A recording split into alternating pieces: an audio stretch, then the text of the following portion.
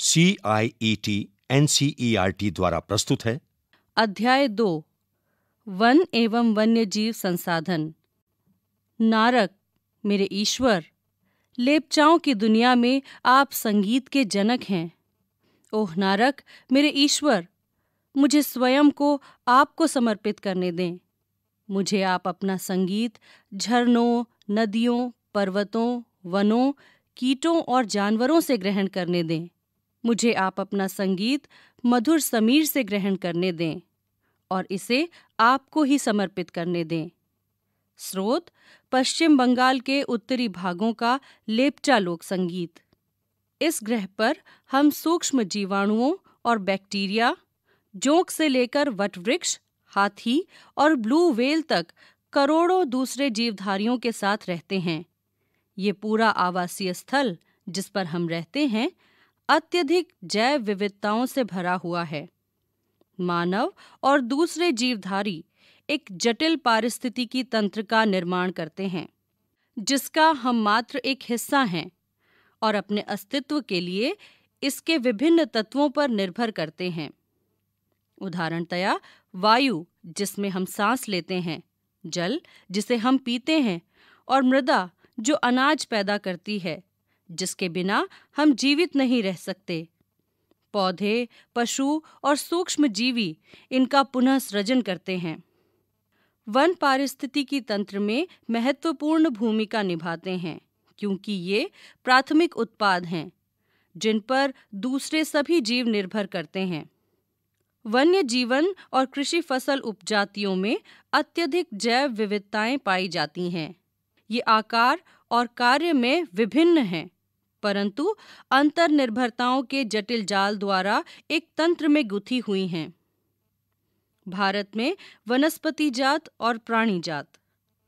यदि आप अपने आसपास नज़र दौड़ाते हैं तो आप पाएँगे कि कुछ ऐसे प्राणी और पौधे हैं जो आपके क्षेत्र में ही पाए जाते हैं। वास्तव में भारत जैव विविधता के संदर्भ में विश्व के सबसे समृद्ध देशों में से एक है। यहाँ विश्व की सारी जैव उपजातियों की आठ प्रतिशत संख्या लगभग 16 लाख पाई जाती है। ये अभी खोजी जाने वाली उपजातियों से दो या तीन गुना है। आप पहले ही भारत में पाए जाने वाले वनों और वन्य जीव संसाधनों के क्षेत्रफल और किस्मों के बारे में जान चुके हैं। आपने सोचा होगा कि इन संसाधनों का आपके दैनिक जीवन में क्या महत्व है? ये विविध वनस्पति जात और प्राणी जात हमारे हर रोज के जीवन में इतने गुथे हुए हैं कि हम इसकी कद्र नहीं करते। परंतु पर्यावरण के प्रति हमारी असंवेदना के कारण पिछले कुछ समय से इन संसाधनों पर भारी दबाव बढ़ा है। क्या आप जानते हैं? क्या आप जानते हैं कि हमारे देश में लगभग इक्यासी हज़ार वन्य जीवन उपजातियाँ और लगभग सैतालीस हज़ार वनस्पति उपजातियाँ पाई जाती हैं? वनस्पति उपजातियों में लगभग पंद्रह हज़ार उपजातियाँ भारतीय मूल की हैं, यानी स्थानीय हैं। क्रियाकलाप। अपने क्षेत्र में मानव और प्रकृति के समन्वयी संबंधों पर प्रचलित कहानियों के बारे में पता लगाएँ। कुछ अनुमान ये कहते हैं कि भारत में 10 प्रतिशत वन्य वनस्पति जात और 20 प्रतिशत स्तनधारियों को लुप्त होने का खतरा है। इनमें से कई उपजातियाँ तो नाजुक अवस्था में हैं और लुप्त होने के कगार पर हैं।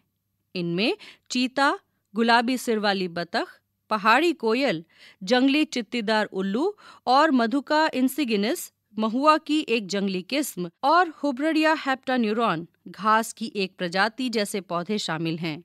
वास्तव में कोई भी नहीं बता सकता कि अब तक कितनी प्रजातियाँ लुप्त हो चुकी हैं। आज हमारा ध्यान अधिक बड़े और दिखाई देने वाले प्राणियों और पौधों के लुप्त होने पर अधिक केंद्रित है। परंतु छोटे प्राणी जैसे कीट और पौधे भी महत्वपूर्ण होते हैं। क्या आप जानते हैं? क्या आप जानते हैं कि भारत में बड़े प्राणियों में से स्तनधारियों की उनासी जातियाँ, पक्षियों की चवालीस जातियाँ, सरीसृपों की पंद्रह जातियाँ और जल स्थल चरों की तीन जातियाँ लुप्त होने का खतरा बना हुआ है? लगभग 1500 पादप जातियाँ के भी लुप्त होने का खतरा है। फूलदार वनस्पति और रीढ़धारी प्राणियों के लुप्त होने की दर, लुप्त होने की प्राकृतिक दर से 50 से 100 गुना ज़्यादा है। पृष्ठ संख्या 17 लुप्त होते वन। भारत में जिस पैमाने पर वन कटाई हो रही है, वह विचलित कर देने वाली बात है। देश में वन आवरण के अंतर्गत अनुमानित छह लाख सैंतीस हज़ार दो सौ तिरानवे वर्ग किलोमीटर क्षेत्रफल है। ये देश के कुल भौगोलिक क्षेत्रफल का उन्नीस दशमलव तीन नौ प्रतिशत हिस्सा है। सघन वन ग्यारह दशमलव चार आठ प्रतिशत, खुला वन सात दशमलव सात छः प्रतिशत और मैंग्रोव शून्य दशमलव एक पाँच प्रतिशत है। स्टेट ऑफ़ फॉरेस्ट रिपोर्ट 1999 के अनुसार वर्ष उन्नीस सौ सत्तानवे से सघन वनों के क्षेत्र में दस हज़ार अट्ठानवे वर्ग किलोमीटर की वृद्धि हुई है। परंतु वन क्षेत्र में ये वृद्धि विभिन्न संगठनों द्वारा वृक्षारोपण से हुई है। ये रिपोर्ट प्राकृतिक वनों और वृक्षारोपण यानी कि कृत्रिम वन में अंतर नहीं करती। इसलिए इस रिपोर्ट के आधार पर प्राकृतिक वनों के वास्तविक रास का ठीक तरह से अनुमान नहीं लगाया जा सकता। आओ, हम विभिन्न प्रकार के पौधे और प्राणियों की जातियों के बारे में पता लगाएँ। अंतर्राष्ट्रीय प्राकृतिक संरक्षण और प्राकृतिक संसाधन संरक्षण संघ आई के अनुसार इनको इन श्रेणियों में विभाजित किया जा सकता है। सामान्य जातियाँ, ये वे जातियाँ हैं जिनकी संख्या जीवित रहने के लिए सामान्य मानी जाती हैं, जैसे पशु, साल, चीड़ और कृंतक, यानी रोडेंट्स इत्यादि। संकटग्रस्त जातियाँ। ये वे जातियाँ हैं जिनके लुप्त होने का खतरा है। जिन विषम परिस्थितियों के कारण इनकी संख्या कम हुई है। यदि वे जारी रहती हैं तो इन जातियों का जीवित रहना कठिन है। काला हिरण, मगरमच्छ, भारतीय जंगली गधा, गैंडा, शेर, पूंछ वाला बंदर, संगाई, यानी कि मणिपुरी हिरण, इत्यादि इस प्रकार की जातियों के उदाहरण हैं। सुभेद्य जातियाँ। ये वे जातियाँ हैं जिनकी संख्या घट रही है। यदि इनकी संख्या पर विपरीत प्रभाव डालने वाली परिस्थितियाँ नहीं बदली जाती और इनकी संख्या घटती रहती है तो ये संकटग्रस्त जातियों की श्रेणी में शामिल हो जाएँगी।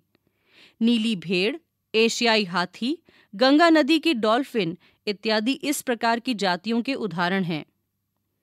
दुर्लभ जातियाँ। इन जातियों की संख्या बहुत कम या सुभेद्य हैं। और यदि इनको प्रभावित करने वाली विषम परिस्थितियाँ नहीं परिवर्तित होती तो ये संकटग्रस्त जातियों की श्रेणी में आ सकती हैं। स्थानिक जातियाँ। प्राकृतिक या भौगोलिक सीमाओं से अलग, विशेष क्षेत्रों में पाए जाने वाली जातियाँ, अंडमानी टील, निकोबारी कबूतर, अंडमानी जंगली सुअर और अरुणाचल के मिथुन, इन जातियों के उदाहरण हैं। लुप्त जातियाँ।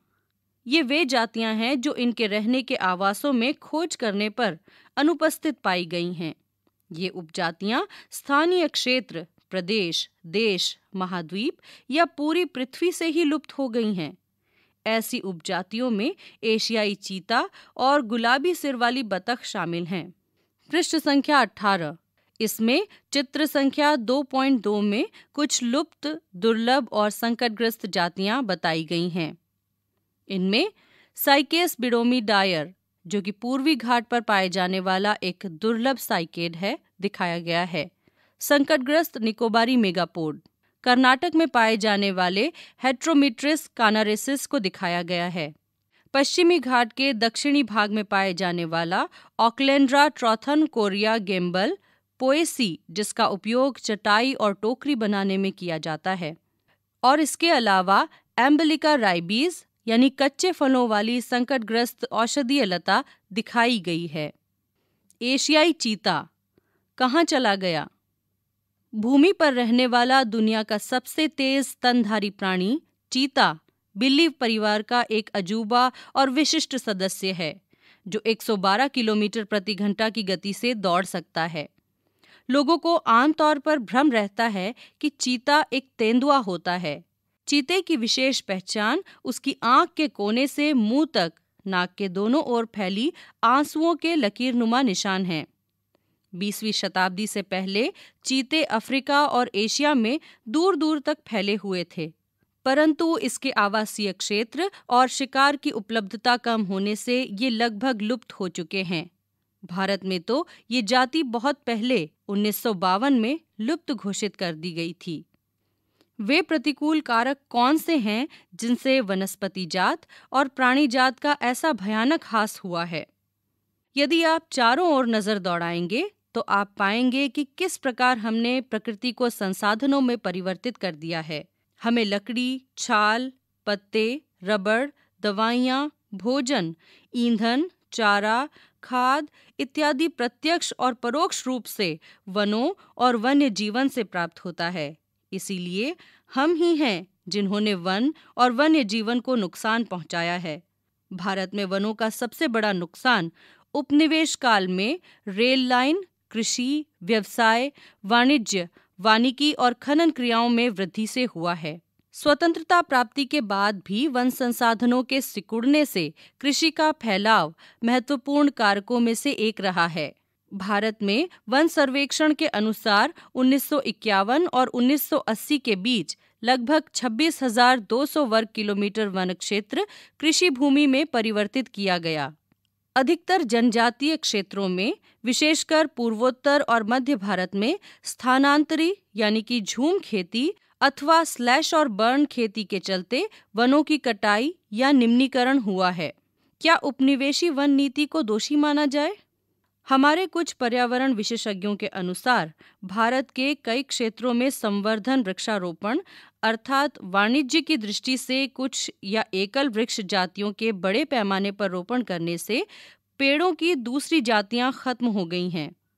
उदाहरण के तौर पर सागवान के एकल रोपण से दक्षिण भारत में अन्य प्राकृतिक वन बर्बाद हो गए। और हिमालय में चीड़ पाइन के रोपण से हिमालयन ओक और रोडोडेंड्रॉन वनों का नुकसान हुआ है। पृष्ठ संख्या 19 बड़ी विकास परियोजनाओं ने भी वनों को बहुत नुकसान पहुँचाया है। उन्नीस सौ बावन से नदी घाटी परियोजनाओं के कारण 5000 वर्ग किलोमीटर से अधिक वन क्षेत्रों को साफ़ करना पड़ा है। ये प्रक्रिया अब भी जारी है। मध्य प्रदेश में चार लाख हेक्टेयर से अधिक वन क्षेत्र नर्मदा सागर परियोजना के पूर्ण हो जाने से जलमग्न हो जाएगा। वनों की बर्बादी में खनन ने भी महत्वपूर्ण भूमिका निभाई है। पश्चिम बंगाल में बक्सा टाइगर रिज़र्व डोलोमाइट के खनन के कारण गंभीर खतरे में है। इसने कई प्रजातियों के प्राकृतिक आवासों को नुकसान पहुँचाया है और कई जातियों, जिसमें भारतीय हाथी भी शामिल है के आवागमन मार्ग को बाधित किया है। बहुत से वन अधिकारी और पर्यावरणविद ये मानते हैं कि वन संसाधनों की बर्बादी में पशुचारण और ईंधन के लिए लकड़ी कटाई मुख्य भूमिका निभाते हैं। यद्यपि इसमें कुछ सच्चाई हो सकती है, परंतु चारे और ईंधन हेतु लकड़ी की आवश्यकता पूर्ति मुख्यतः पेड़ों की टहनियाँ काटकर की जाती है, न कि पूरा पेड़ काटकर।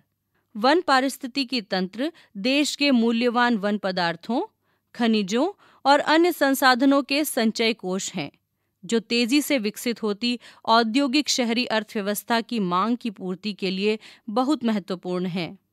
ये आरक्षित क्षेत्र अलग अलग लोगों के लिए अलग अलग मायने रखते हैं और विभिन्न वर्गों के बीच संघर्ष के लिए अनुकूल परिस्थितियाँ पैदा करते हैं। चित्र 2.3 में तीन दृश्य दिखाए गए हैं। इसमें पहले चित्र में शांत घाटी की मुखली नर्सरी में आदिवासी युवतियाँ बाँस की पौध लगाते हुए दिखाई गई हैं। दूसरे चित्र में छोटे छोटे जंगली उत्पादों को बेचती आदिवासी महिलाएँ दिखाई गई हैं, जबकि तीसरे दृश्य में सूखी पत्तियों को एकत्रित करती हुई आदिवासी महिलाएँ दिखाई गई हैं। हिमालयन यव संकट में। हिमालयन यव, चीड़ की प्रकार का सदाबहार वृक्ष एक औषधीय पौधा है, जो हिमाचल प्रदेश और अरुणाचल प्रदेश के कई क्षेत्रों में पाया जाता है। पेड़ की छाल, पत्तियों, टहनियों और जड़ों से टक्सोल नामक रसायन निकाला जाता है तथा इसे कुछ कैंसर रोगों के उपचार के लिए प्रयोग किया जाता है। इससे बनाई गई दवाई विश्व में सबसे अधिक बिकने वाली कैंसर औषधि है। इसके अत्यधिक निष्काशन से इस वनस्पति जाति को खतरा पैदा हो गया है।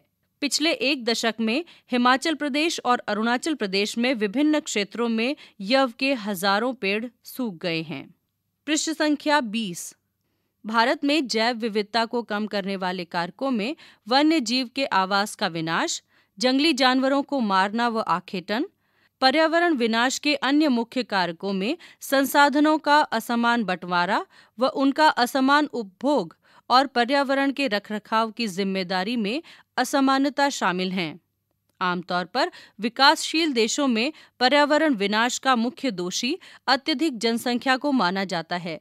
यद्यपि एक अमेरिकी नागरिक का औसत संसाधन उपभोग एक सोमाली नागरिक के औसत उपभोग से 40 गुना ज़्यादा है। इसी प्रकार शायद भारत के पाँच प्रतिशत धनी लोग 25 प्रतिशत गरीब लोगों की तुलना में अपने संसाधन उपभोग द्वारा पर्यावरण को अधिक नुकसान पहुंचाते हैं।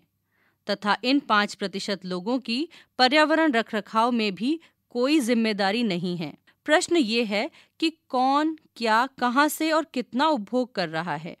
क्या आप जानते हैं? क्या आप जानते हैं कि भारत के आधे से अधिक प्राकृतिक वन लगभग खत्म हो चुके हैं? सत्तर प्रतिशत धरातलीय जल क्षेत्र प्रदूषित हैं। चालीस प्रतिशत मैंग्रोव क्षेत्र लुप्त हो चुका है और जंगली जानवरों के शिकार और व्यापार तथा वाणिज्य की दृष्टि से कीमती पेड़ पौधों की कटाई के कारण हज़ारों वनस्पति और वन्य जीव जातियाँ लुप्त होने के कगार पर पहुँच गई हैं। क्रियाकलाप। क्या आपने अपने आसपास ऐसी गतिविधियाँ देखी हैं जिससे जैव विविधता कम होती है? इस पर एक टिप्पणी लिखें और इन गतिविधियों को कम करने के उपाय सुझाएँ। वनों और वन्य जीवन का विनाश मात्र जीव विज्ञान का विषय ही नहीं है। जैव संसाधनों का विनाश सांस्कृतिक विविधता के विनाश से जुड़ा हुआ है। जैव विनाश के कारण कई मूल जातियाँ और वनों पर आधारित समुदाय निर्धन होते जा रहे हैं और आर्थिक रूप से हाशिए पर पहुँच गए हैं। ये समुदाय खाने, पीने, औषधि, संस्कृति और आध्यात्म इत्यादि के लिए वनों और वन्य जीवों पर निर्भर हैं।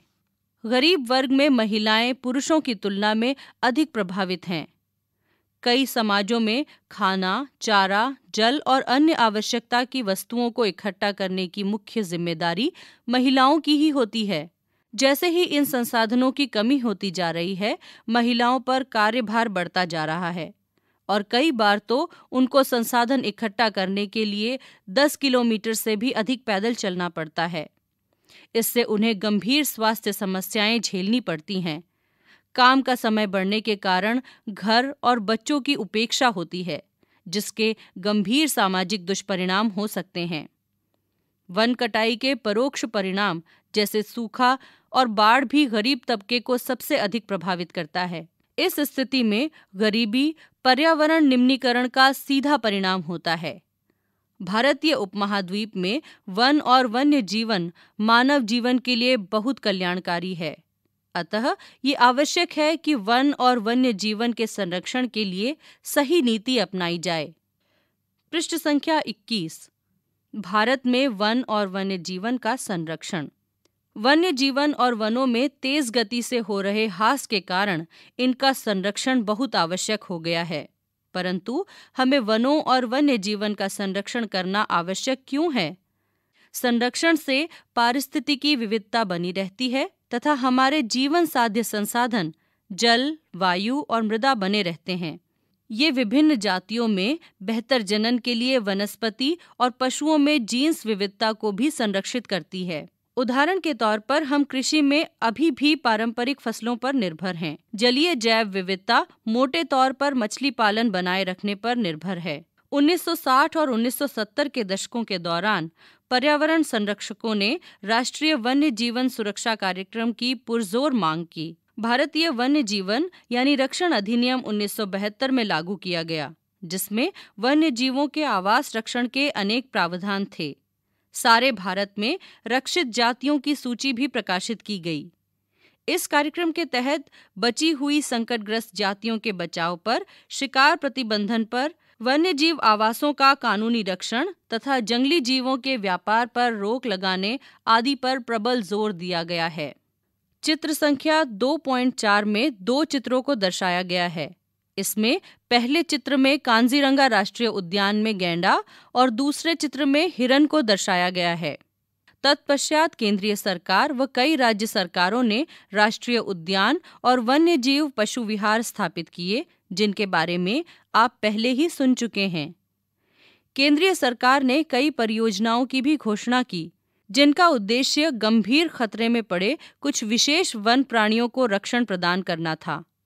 इन प्राणियों में बाघ, एक सींग वाला गैंडा, कश्मीरी हिरण अथवा हंगुल, तीन प्रकार के मगरमच्छ स्वच्छ जल मगरमच्छ, लवणीय जल मगरमच्छ और घड़ियाल, एशियाई शेर और अन्य प्राणी शामिल हैं। इसके अतिरिक्त कुछ समय पहले भारतीय हाथी, काला हिरण, चिंकारा, भारतीय गोडावण और हिम तेंदुओं आदि के शिकार और व्यापार पर संपूर्ण अथवा आंशिक प्रतिबंध लगाकर कानूनी रक्षण दिया है। बाघ परियोजना। वन्य जीवन संरचना में बाघ, यानी कि टाइगर, एक महत्वपूर्ण जंगली जाति है। 1973 में अधिकारियों ने पाया कि देश में 20वीं शताब्दी के आरंभ में बाघों की संख्या, अनुमानित संख्या पचपन हज़ार से घटकर मात्र 1827 रह गई है। बाघों को मारकर उनको व्यापार के लिए चोरी करना, आवासीय स्थलों का सिकुड़ना, भोजन के लिए आवश्यक जंगली उपजातियों की संख्या कम होना और जनसंख्या में वृद्धि बाघों की घटती संख्या के मुख्य कारण हैं। बाघों की खाल का व्यापार और उनकी हड्डियों का एशियाई देशों में परंपरागत औषधियों में प्रयोग के कारण ये जाति विलुप्त होने के कगार पर पहुँच गई है। चूँकि भारत और नेपाल दुनिया की दो तिहाई बाघों को आवास उपलब्ध करवाते हैं, अतः ये देश ही शिकार, चोरी और गैर कानूनी व्यापार करने वालों के मुख्य निशाने पर हैं। प्रोजेक्ट टाइगर विश्व की बेहतरीन वन्यजीव परियोजनाओं में से एक है और इसकी शुरुआत 1973 में हुई। शुरू में इसमें बहुत सफलता प्राप्त हुई, क्योंकि बाघों की संख्या उन्नीस में 4002 और उन्नीस सौ नवासी में 4334 हो गई थी, परंतु उन्नीस सौ तिरानवे में इसकी संख्या घटकर 3600 पहुँच गई। भारत में सैतीस हज़ार सात सौ इकसठ वर्ग किलोमीटर पर फैले हुए 27 बाघ रिज़र्व हैं।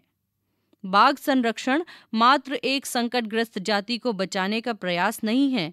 अपितु, इसका उद्देश्य बहुत बड़े आकार के जैव जाति को भी बचाना है।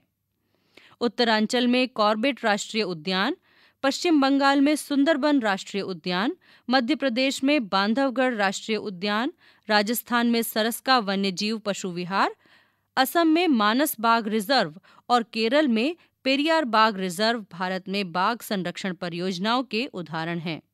आजकल संरक्षण परियोजनाएँ जैव विविधताओं पर केंद्रित होती हैं, न कि इसके विभिन्न घटकों पर। संरक्षण के विभिन्न तरीकों की गहनता से खोज की जा रही है। संरक्षण नियोजन में कीटों को भी महत्व मिल रहा है। वन्य जीव अधिनियम 1980 और 1986 के तहत सैकड़ों तितलियों, पतंगों, भृंगों और एक ड्रैगन फ्लाई को भी संरक्षण जातियों में शामिल किया गया है। उन्नीस सौ इक्यानवे में पौधों की भी छह जातियाँ पहली बार इस सूची में रखी गई। क्रियाकलाप भारत में वन्य जीव पशु विहार और राष्ट्रीय उद्यानों के बारे में और जानकारी प्राप्त करें और उनकी स्थिति मानचित्र पर अंकित करें। पृष्ठ संख्या 22 यहाँ एक चित्र दिखाया गया है, जिसमें कुछ समाचार पत्रों के अंश दिए गए हैं, जिनमें लुप्त होते घड़ियाल और पक्षियों की मृत्यु के बारे में बताया गया है। क्या आप इन समस्याओं के निदान के कारण ज्ञात कर सकते हैं? वन और वन्य जीव संसाधनों के प्रकार और वितरण। यदि हम वन और वन्य जीव संसाधनों को संरक्षित करना चाहें तो उनका प्रबंधन, नियंत्रण और विनियमन अपेक्षाकृत कठिन है। भारत में अधिकतर वन और वन्य जीवन या तो प्रत्यक्ष रूप से सरकार के अधिकार क्षेत्र में है या वन विभाग अथवा अन्य विभागों के ज़रिए सरकार के प्रबंधन में है। इन्हें इन वर्गों में बांटा गया है। क आरक्षित वन। देश में आधे से अधिक वन क्षेत्र आरक्षित वन घोषित किए गए हैं।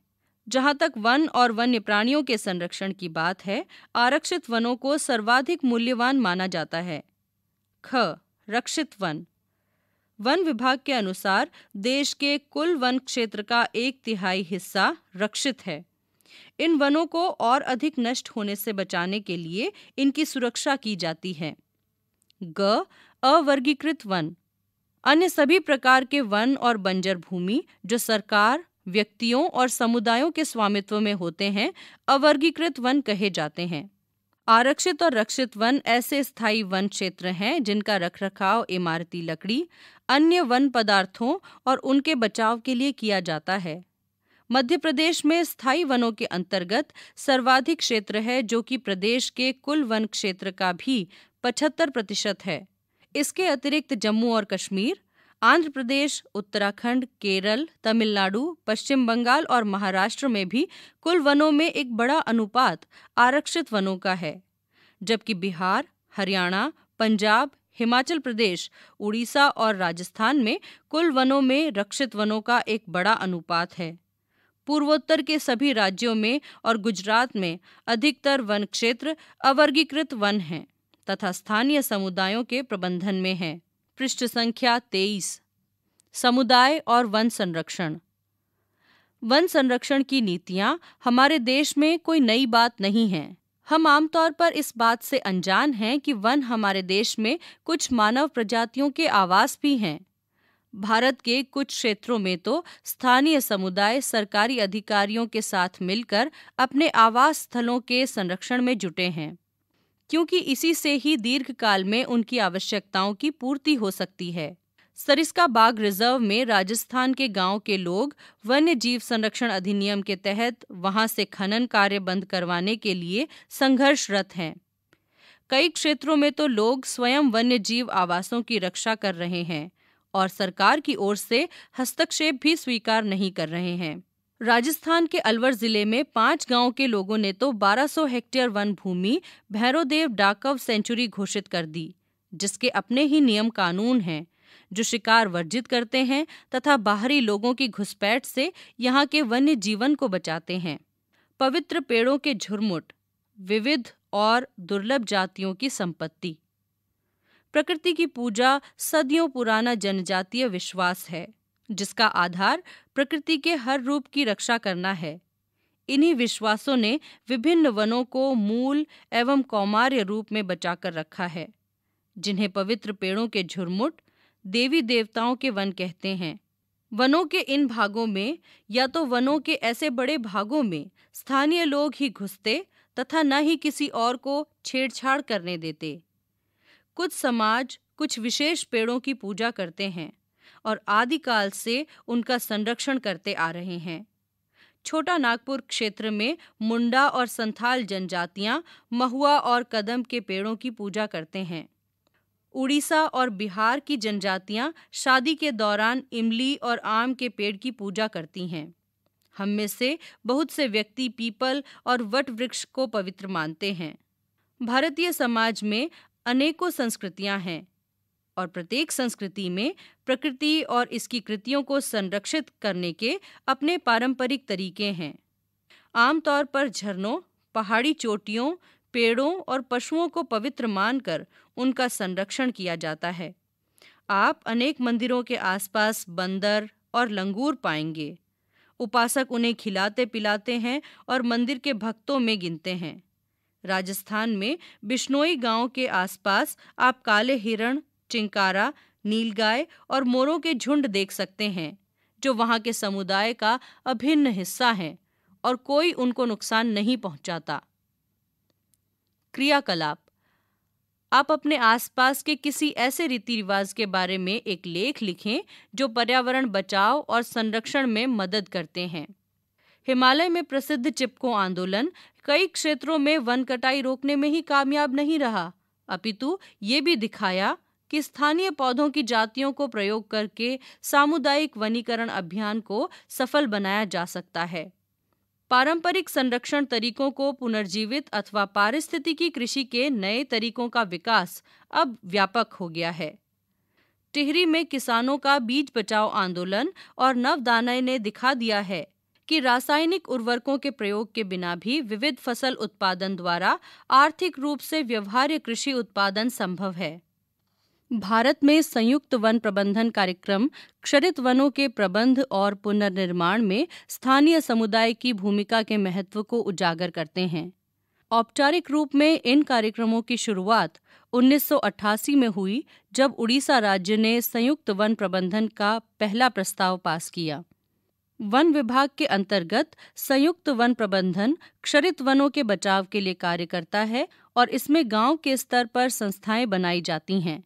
जिसमें ग्रामीण और वन विभाग के अधिकारी संयुक्त रूप में कार्य करते हैं। इसके बदले, ये समुदाय मध्य स्तरीय लाभ, जैसे गैर इमारतीय वन उत्पादों के हकदारी होते हैं, तथा सफल संरक्षण से प्राप्त इमारती लकड़ी लाभ में भी भागीदार होते हैं। भारत में पर्यावरण के विनाश और पुनर्निर्माण की क्रियाशीलताओं से सीख मिलती है कि स्थानीय समुदायों को हर जगह प्राकृतिक संसाधन प्रबंधन में शामिल करना चाहिए। परंतु स्थानीय समुदायों को फैसले लेने की प्रक्रिया में मुख्य भूमिका में आने में अभी देर है। अतः वे ही विकास क्रियाएँ मान्य होनी चाहिए, जो जनमानस पर केंद्रित हों, पर्यावरण हितैषी हो और आर्थिक रूप से प्रतिफलित हों। पेड़ एक विशेष असीमित दयालु और उदारपूर्ण जीवधारी हैं, जो अपने सतत पोषण के लिए कोई मांग नहीं करता। और दानशीलता पूर्वक अपने जीवन की क्रियाओं को भेंट करता है। ये सभी की रक्षा करता है और स्वयं पर कुल्हाड़ी चलाने वाले विनाशक को भी छाया प्रदान करता है। गौतम बुद्ध, चार सौ सत्तासी ईसा पूर्व। पृष्ठ संख्या चौबीस। अभ्यास। प्रश्न एक, बहुवैकल्पिक प्रश्न। एक, इनमें से कौन सी टिप्पणी प्राकृतिक वनस्पति जात और प्राणी जात के हास का सही कारण नहीं है। क. कृषि प्रसार। ख. वृहत स्तरीय विकास परियोजनाएँ। ग. पशुचारण और ईंधन लकड़ी एकत्रित करना। और घ.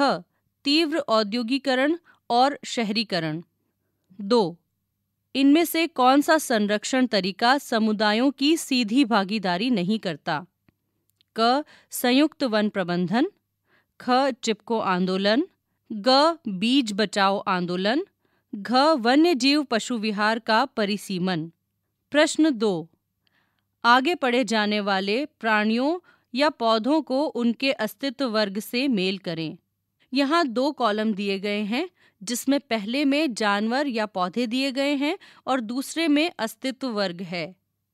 जानवर या पौधे, काला हिरण, एशियाई हाथी अंडमान जंगली सुअर, हिमालयन भूरा भालू, गुलाबी सिरवाली बतख। अस्तित्व वर्ग लुप्त, दुर्लभ, संकटग्रस्त, सुभेद्य, स्थानिक। प्रश्न तीन, आगे पढ़े जाने वाले वनों का मेल करें।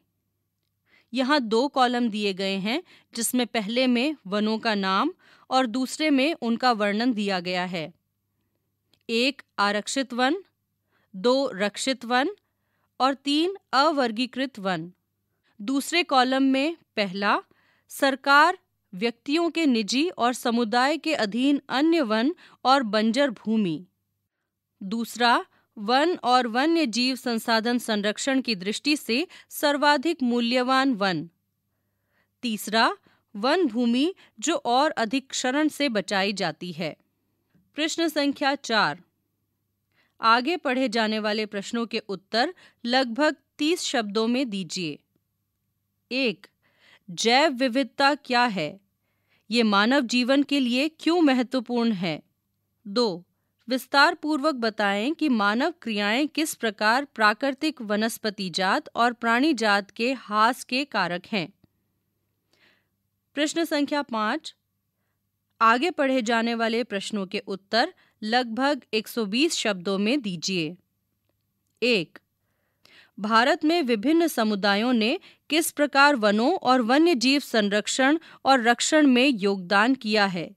विस्तार पूर्वक विवेचना करें। दो, वन और वन्य जीव संरक्षण में सहयोगी रीति रिवाजों पर एक निबंध लिखिए। अभी आप सुन रहे थे अध्याय दो वन एवं वन्य जीव संसाधन। प्रस्तुति C I E T N C E R T New Delhi, Bharat.